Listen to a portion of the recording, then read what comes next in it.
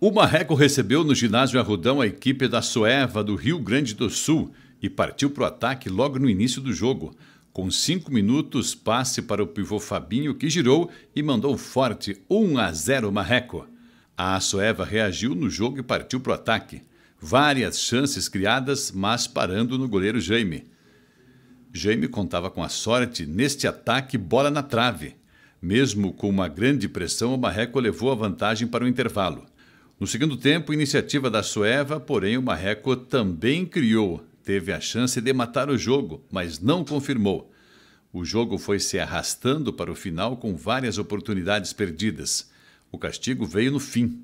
Escanteio cobrado e Lucas conseguiu superar Jaime. Final do jogo, Marreco 1, a Sueva também 1.